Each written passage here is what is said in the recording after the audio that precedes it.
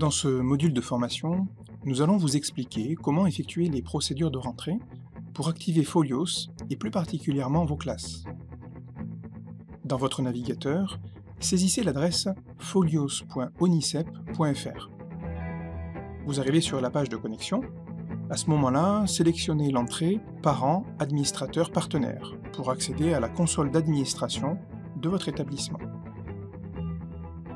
Renseignez votre identifiant et votre mot de passe qui vous ont été donnés soit par votre chef d'établissement, soit par le correspondant Folios de votre académie. Si vos classes ne sont pas activées, vous allez directement arriver sur la page Gestion des classes. À ce moment-là, pour activer toutes les classes de votre établissement, allez au bas du tableau, sélectionnez Activer toutes les classes de cet établissement, puis cliquez sur Activer. Toutes vos classes seront alors activées.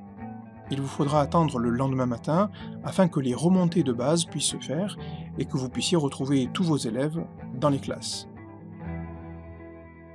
Vous pouvez aussi activer une ou plusieurs classes si vous ne souhaitez pas activer toutes les classes de l'établissement. Pour cela, sélectionnez les classes désirées et cliquez sur le bouton Action.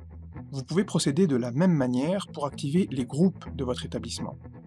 Allez dans le menu et sélectionnez Groupe de travail. Comme pour les classes, vous avez la possibilité de n'activer que certains groupes. Sélectionnez-les et cliquez sur le bouton Action. Si vous souhaitez activer tous les groupes, au bas du tableau, cliquez sur Activer tous les groupes de cet établissement, puis sélectionnez Activer. Attention, si vous constatez des erreurs dans l'affectation des classes, pour les élèves par exemple ou les enseignants, n'allez pas les modifier directement dans la console d'administration de Folios. Il faut s'adresser à votre chef d'établissement qui modifiera les bases siècle et STS Web. Folios sera alors ensuite automatiquement mis à jour.